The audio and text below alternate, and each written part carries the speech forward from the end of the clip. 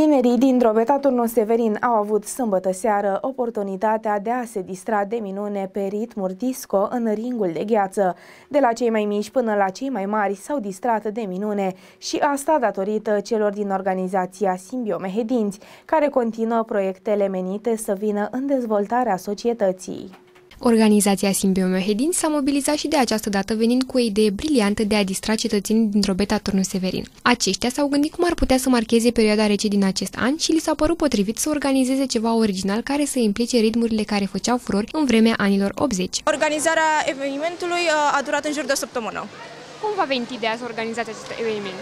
Uh, eram la o ședință și uh, cineva a propus că ar fi interesant să facem activitate uh, cu tematica disco și ne-am gândit să facem la patinar, având în vedere că este sezonul uh, patinajului. Organizatorii spun că a durat în jur de două săptămâni să se mobilizeze în a crea o seară cât mai plăcută pentru toți cei prezenți.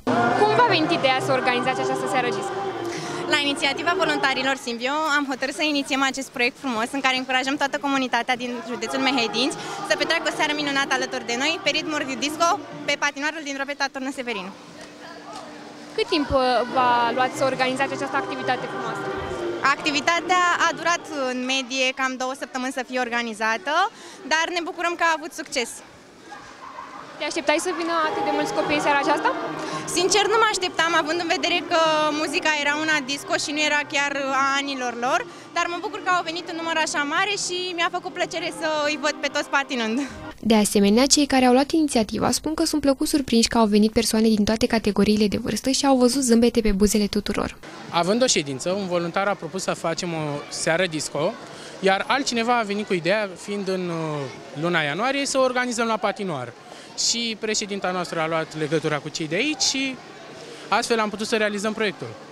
Cum se pare că s-a desfășurat activitatea pe care ați organizat-o aici? Foarte bine, avem mult mai multe persoane decât ne-am așteptat uh, și aparent toată lumea se distrează, muzica este genială și asta a fost uh, propunerea noastră, ca toată lumea să se distreze și să facă ce-și doresc. Veți mai organiza și pe viitor astfel de activități? Sigur, în organizația noastră se fac tot felul de proiecte foarte interactive și distractive pentru mult, toată lumea. Tinerii au declarat că s-au distrat de minune și că apreciază inițiativa luată de cei din organizația Simbio Mehedinți. De asemenea, contrar așteptărilor, aceștia au spus că muzica a fost pe gustul lor, iar unele melodii se regăsesc și acum în playlisturile tinerilor. Ce se pare evenimentul din această seară? Uh, mi se pare foarte interesant și chiar îmi place ideea celor de la Simbio să facă această activitate. Cum te-ai simțit pe parcursul serii? M-am simțit foarte bine și muzica pe fundal a fost, uh, mi-a plăcut. Unele dintre ele le-am și în playlist de pe Spotify și le ascult și în timpul liber.